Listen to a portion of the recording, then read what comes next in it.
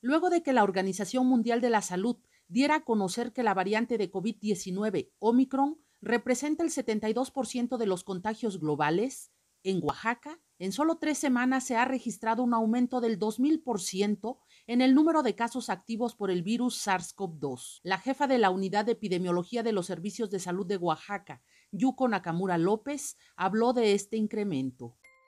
La semana 52, la semana epidemiológica, cerramos con 194 casos activos.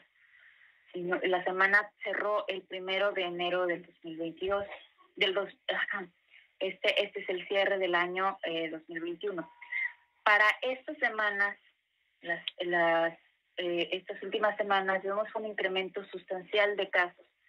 Eh, en este sentido, al día de ayer, al corte del día de ayer, tenemos 1.494 casos nuevos y 4.083 casos activos. De acuerdo con la especialista en biomedicina molecular, explicó que una persona infectada al principio de la pandemia podía contagiar de una a dos personas. Con el cambio de las variantes, llevó a cinco personas y con Omicron podría llegar a infectar de 10 hasta 20 personas.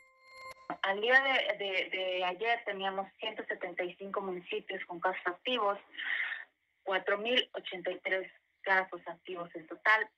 Esto, eh, si no llevamos las medidas adecuadas, podríamos estar hablando de que por esos 4.083 casos activos, cada uno podría estar infectando hasta 10 personas. Entonces, estaríamos hablando 10 a 20 personas de 40.000, 80.000 personas que puedan estarse infectando.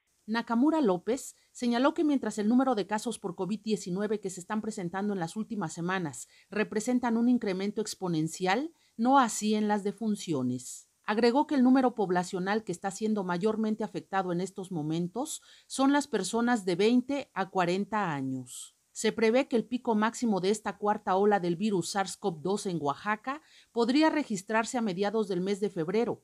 Todo dependerá del comportamiento de la población. Mega Noticias, Yamilet Carranza.